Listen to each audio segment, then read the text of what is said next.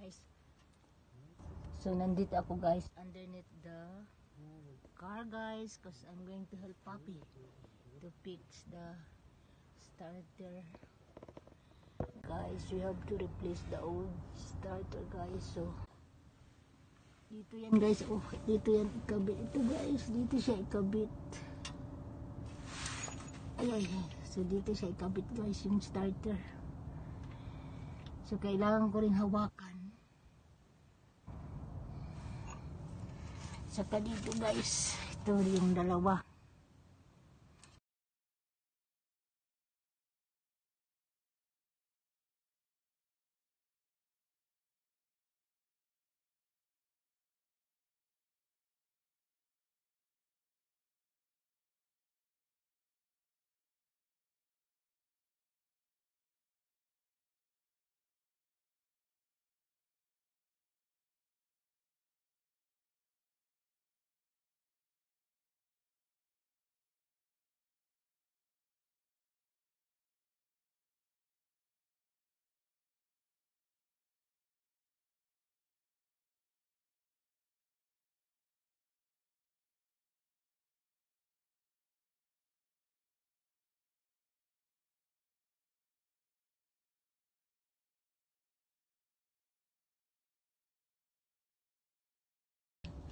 So guys, thank you for watching.